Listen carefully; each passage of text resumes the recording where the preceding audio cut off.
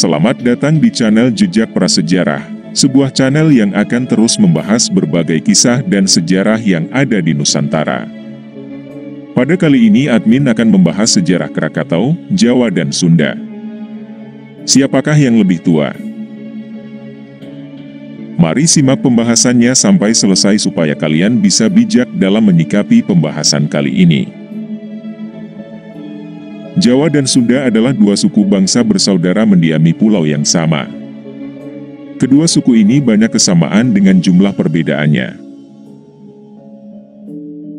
Kedua suku ini berdekatan, namun terasa jauh, sangat dekat, namun beda rasa, beda selera, beda bahasa.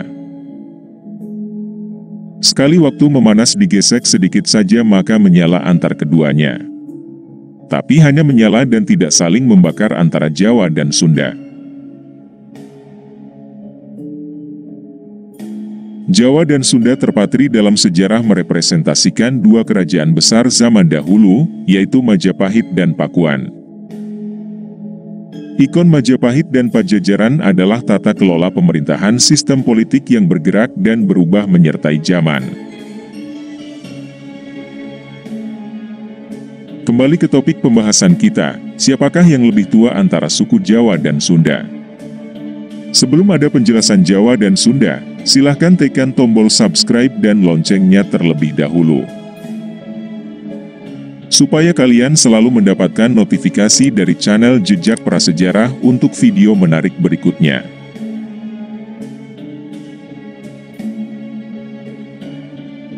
Mari kita simak pembahasannya lebih lanjut. Indonesia adalah sebuah bentuk negara yang unik, mampu menyatukan keanekaragaman menjadi satu yaitu NKRI.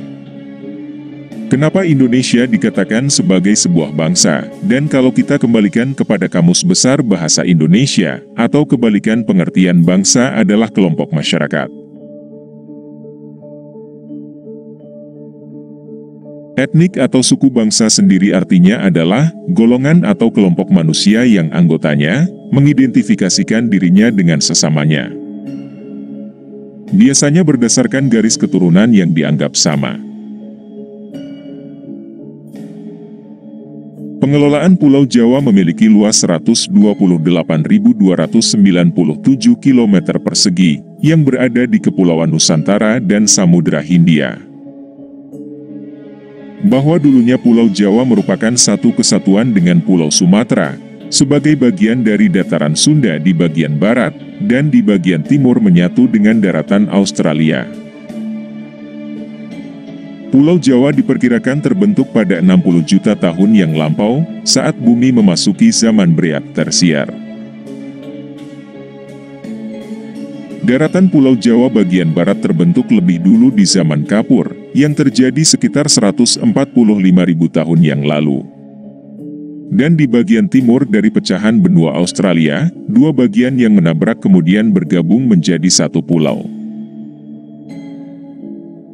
Pulau Jawa tidak lepas dari aktivitas vulkanik hingga menimbulkan kontur pulau dengan banyak gunung berapi yang membentang dari timur ke barat. Berdasarkan catatan Pujangga Ronggowarsito dalam Pustaka Raja Purwa disebut, bahwa Jawa dan Sumatera terpisah, akibat letusan hebat Gunung Krakatau pada 416 Masehi. Hal ini senada dengan peneliti Los Alamos National Laboratory, yang menyebut letusan Gunung Krakatau mengakibatkan terpisahnya kedua pulau Jawa dan Sumatera. Sama halnya dengan pemisahan Pulau Jawa dan Sumatera, terpisahnya Pulau Jawa dan Bali juga diakibatkan letusan gunung berapi. Menurut Raffles ia menyatakan bahwa dulunya Pulau Jawa dan Bali masih satu daratan, namun terpisah karena letusan gunung berapi dan gempa besar. Akibat letusan dan gempa besar hingga membuat kedua daratan khusus pada abad ke-13. Namun teori menyatakan bahwa pemisahan antara Pulau Sumatera dan Jawa, serta Bali terpisah akibat letusan gunung berapi. Pusat Vulkanologi dan Mitigasi Bencana Geologi Kementerian ESDM mengungkapkan, sejarah erupsi Gunung Krakatau jauh lebih tua bahkan ratusan ribu tahun bukan abad. Bahkan diperkirakan sebelum ada manusia.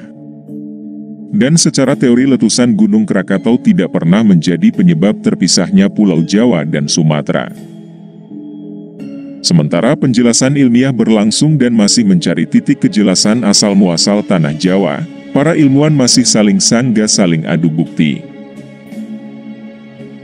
Di sisi lain terdapat pula penjelasan versi supranatural serta versi tutur yang menjelaskan asal-usul Pulau Jawa. Kisah ini mengacu pada legenda Gunung Tidar Kabupaten Magelang, Jawa Tengah, yang dipercaya sebagai paku bumi Pulau Jawa. Lantas bagaimana Sunda dan Jawa yang dimaksud adalah masyarakat atau orang-orangnya?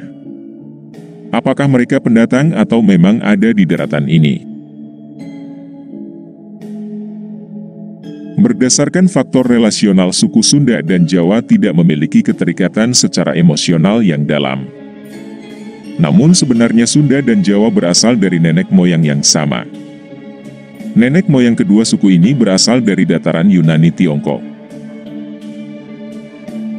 Suku Sunda dan Jawa adalah ras Austronesia yang umum tersebar di negara-negara Asia Tenggara.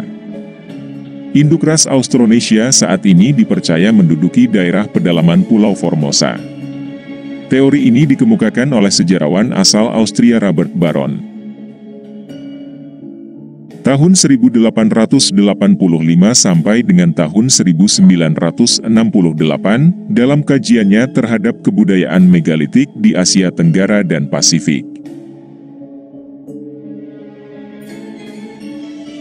Dia menyimpulkan dalam teorinya bahwa pada masa Neolitikum 2010 Masehi sampai dengan 200 sebelum Masehi, ada yang bermigrasi dalam beberapa gelombang dari Asia Utara menuju Asia Selatan. Migrasi ini membuat banyak manusia purba yang akhirnya mendiami pulau-pulau yang terbentang dari Madagaskar sampai Pulau Paskah. Hal inilah yang akhirnya mengilhami pemikiran bahwa leluhur Jawa Sunda dan bangsa Indonesia pada umumnya berasal dari Yunan. Mereka yang melakukan migrasi dari Yunan disebut sebagai bangsa Proto-Melayu atau Melayu.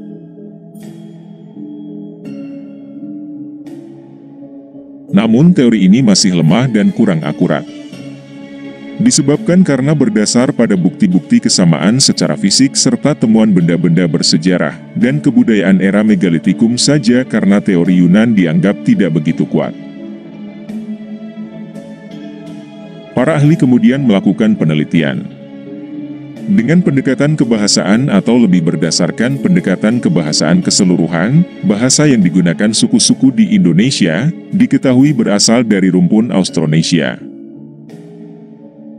Austronesia sendiri pada awalnya berasal dari Kepulauan Formosa yang sudah berkembang sejak 6.000 tahun yang lalu. Pendekatan kebahasaan ini menyatakan bahwa asal-usul suatu bangsa dapat ditelusuri melalui pola penyebaran bahasanya. Karena keseluruhan bahasa di Indonesia berasal dari Austronesia yang berkembang di Taiwan.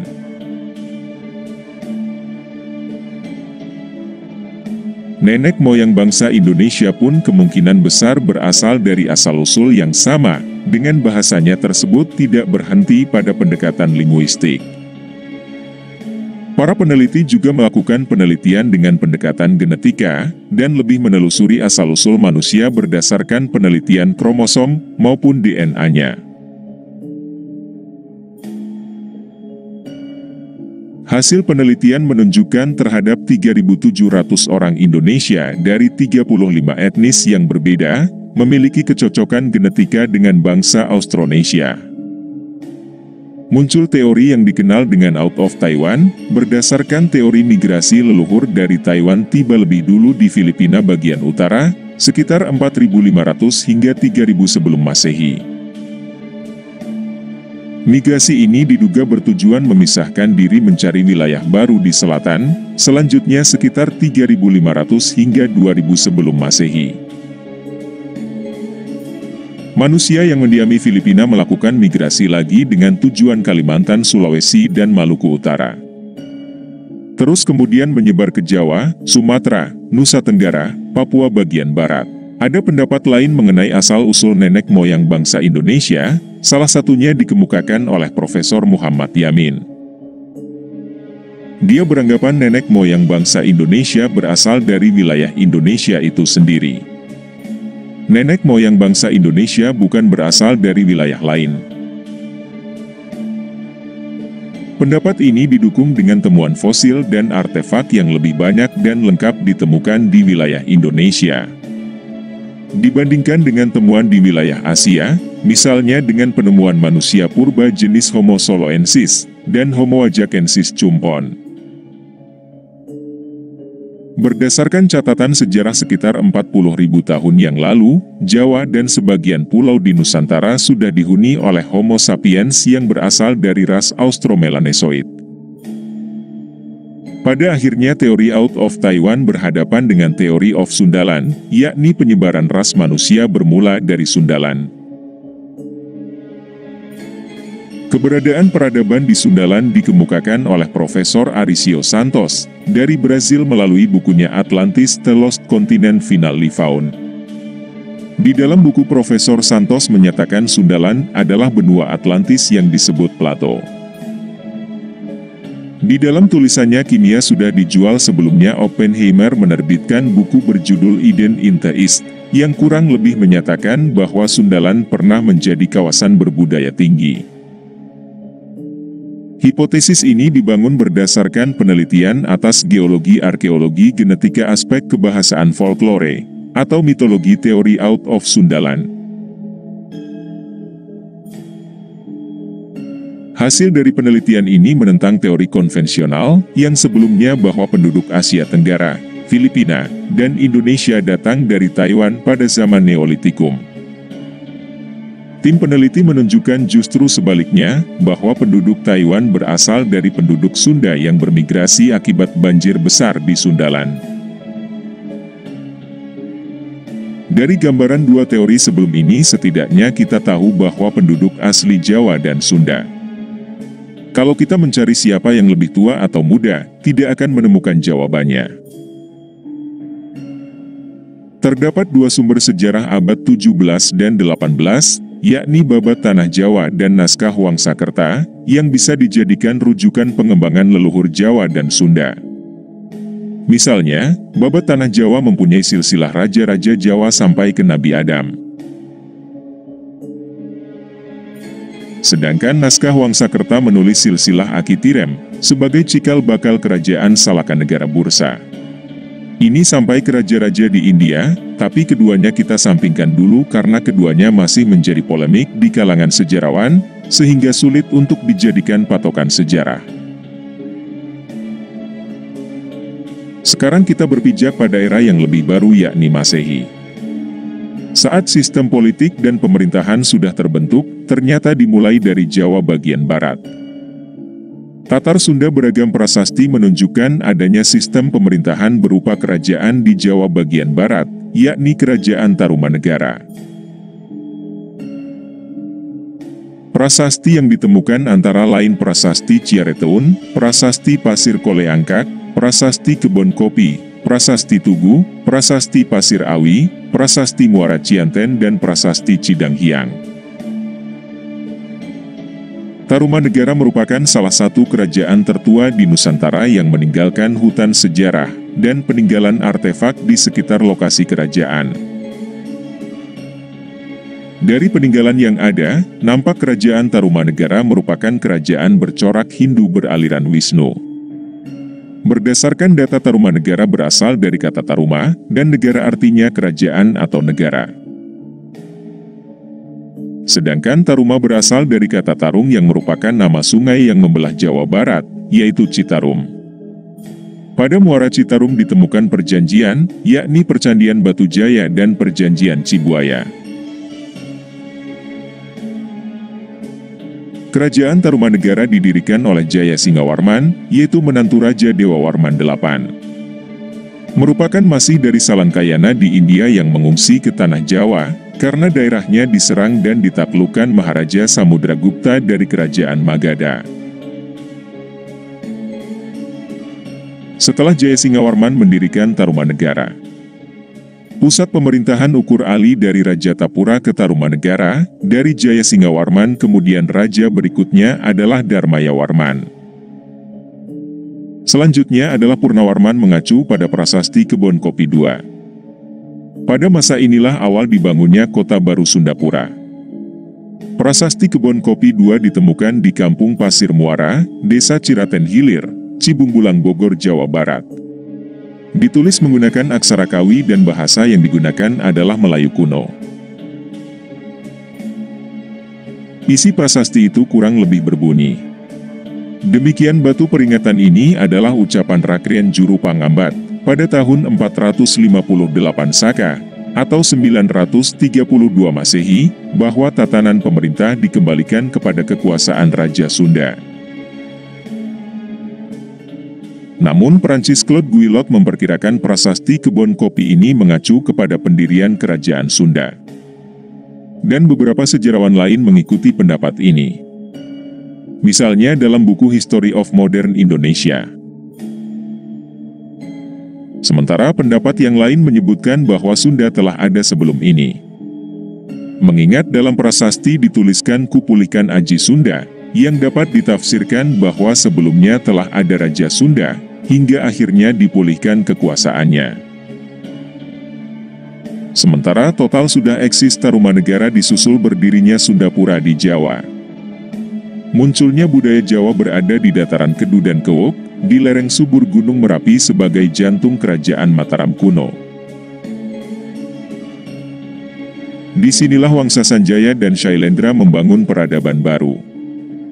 Awal peradaban Jawa dari Prasasti Sojomerto dan Prasasti Canggal. Diketahui nama tiga orang penguasa di Medan atau Mataram kuno yaitu Dapunta, Shailendrasana, dan Sanjaya. Namun perlu dicatat bahwa prasasti kebun kopi ditulis menggunakan aksara Jawa kuno, atau kakawin yang merupakan cikal bakal aksara Nusantara. Artinya pelaku sejarah pada masa itu adalah entitas yang sangat mungkin sama. Bahkan menurut cerita parahyangan Raja Sana dan Sanjaya, berkaitan erat dengan sejarah kerajaan Sunda dan kerajaan Galuh. Pertanyaannya siapa yang lebih tua antara Jawa dan Sunda? Pelaku sejarah waktu itu adalah kesatuan atau leluhur yang sama leluhur Jawa dan leluhur Sunda. Lantas apa pendapat kalian? Dan silahkan tinggalkan di kolom komentar.